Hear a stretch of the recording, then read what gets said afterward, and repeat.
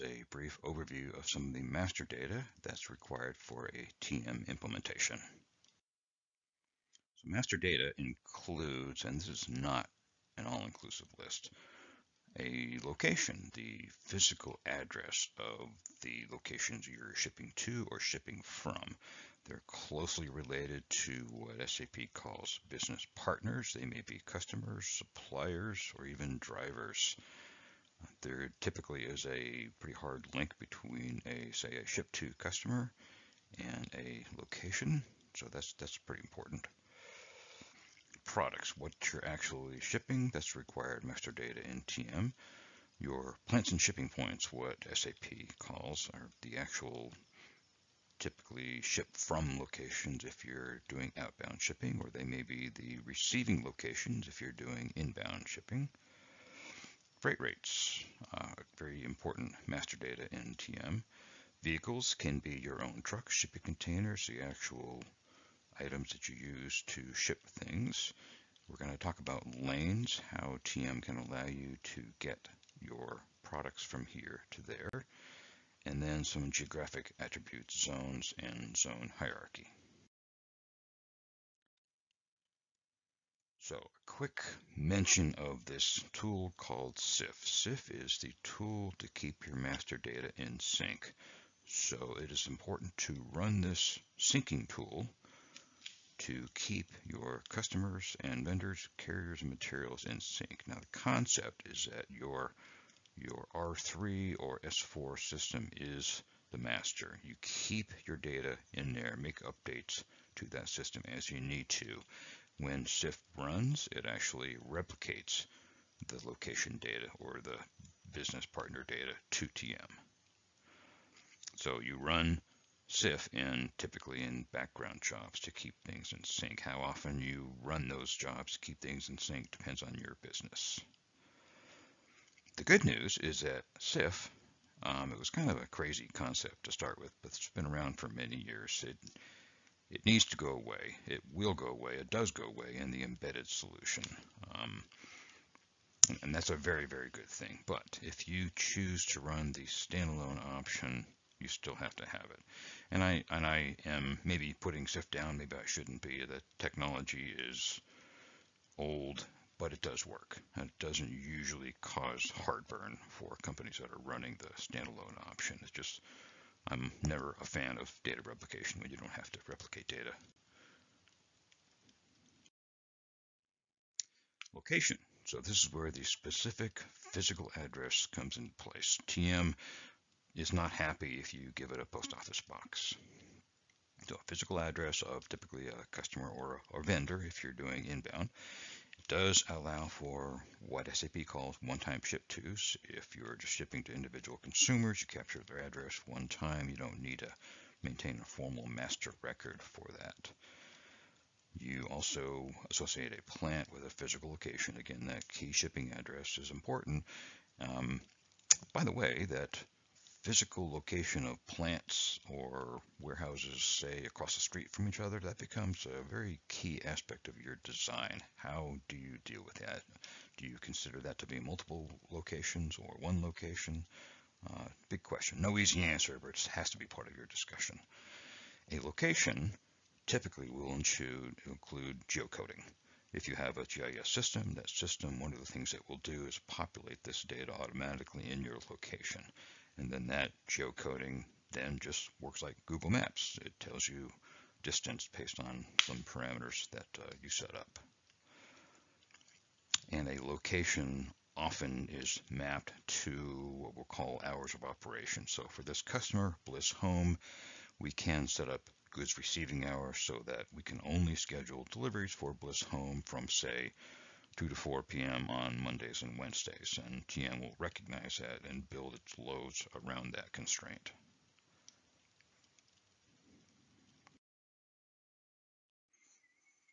Very closely related to locations is business partners. Basically, you can think of location and business partner as kind of having a one-to-one -one correspondence, but business partner focuses the role. What role do they play? Are they considered a ship to? Ship to obviously is the the key role for TM, but TM does need to capture other roles like other interested parties that need to know about a particular uh, international sale, for example.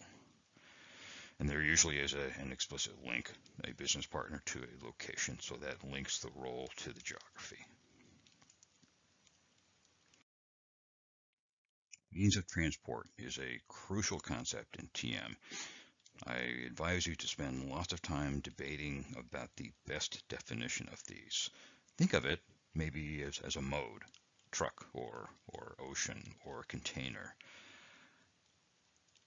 And you can also build means of transport in a hierarchy.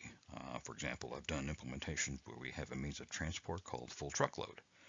But that full truckload consists of lower level means of hierarchy, dry van, uh, refrigerated transport, flatbed. Um, this has major implications for how you set up your transportation network, most specifically the definition of your lanes. So again, this, this needs to be a thought out very, very carefully to set up an efficient transportation network based on means of transports. So zone is geography again. It's basically a grouping of locations.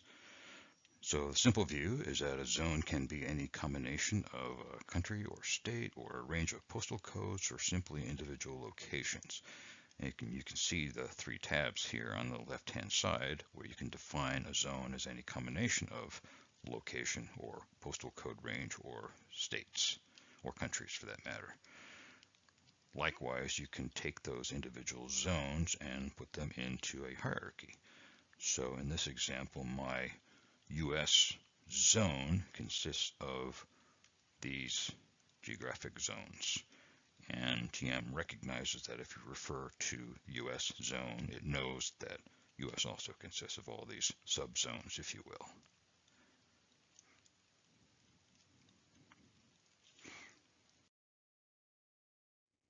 Another illustration of a zone, because it's a, a, pretty important concept. So look at the zone in yellow, and I, I hope this appears as yellow on your screens. So that zone has, what, seven different locations in it. But it is also possible for a given location to be in multiple zones. This particular location is in three, four, five zones, depending on how you define this. It is okay for zones to overlap.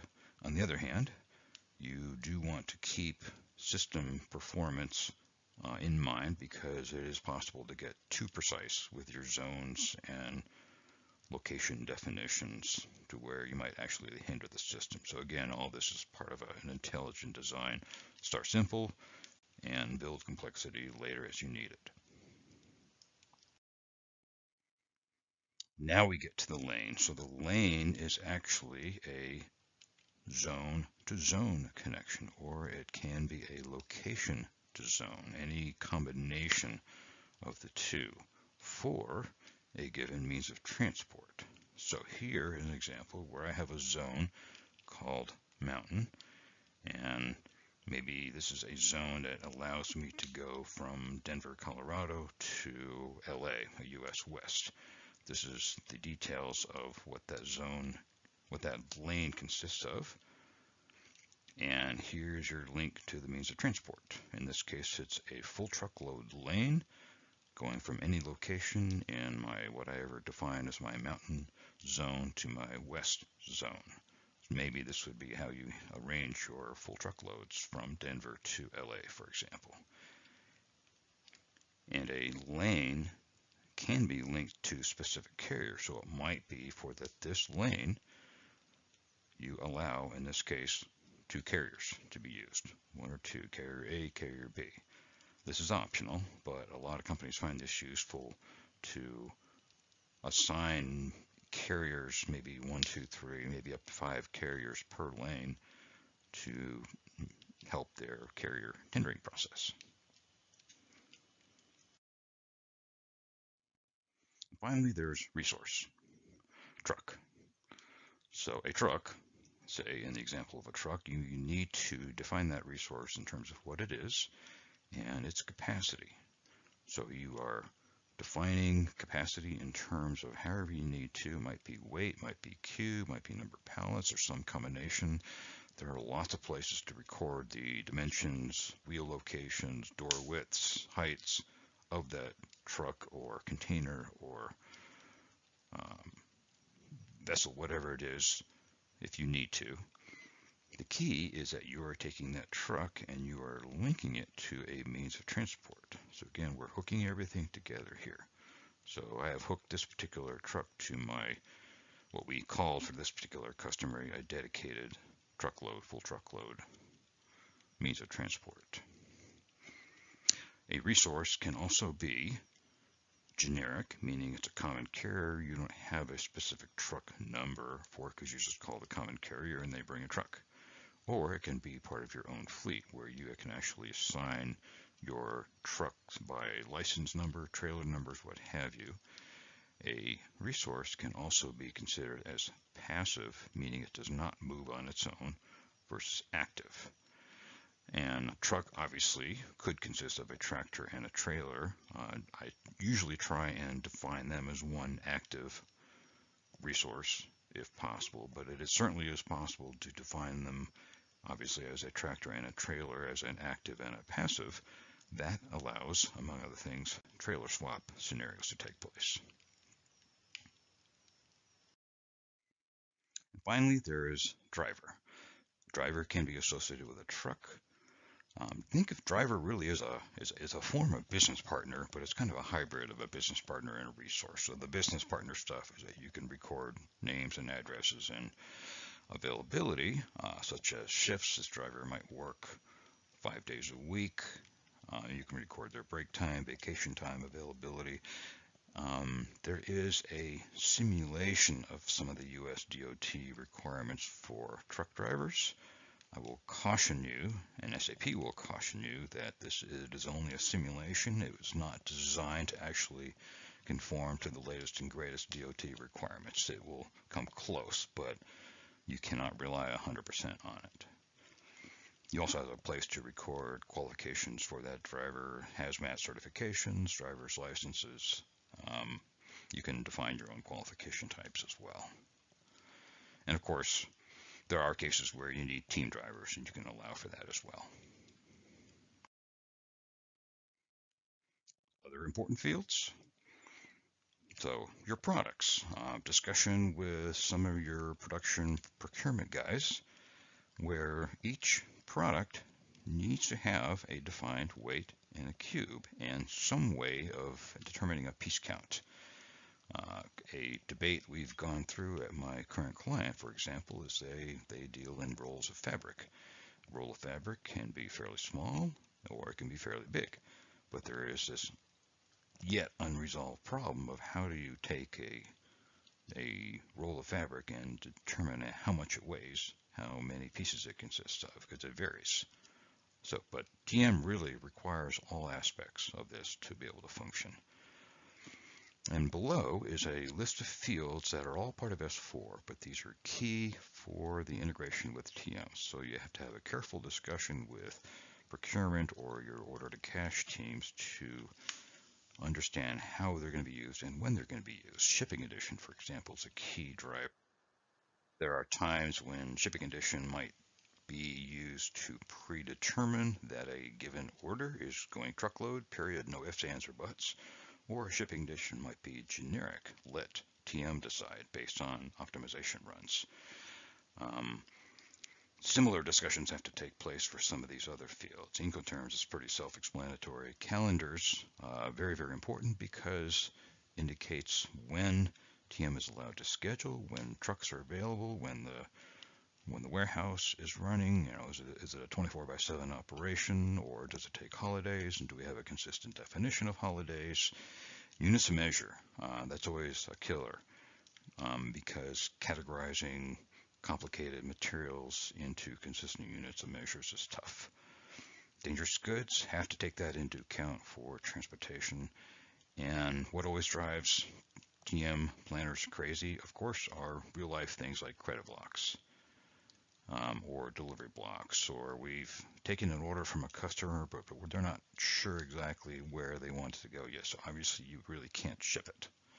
Things like that. So all these are very important considerations in your design.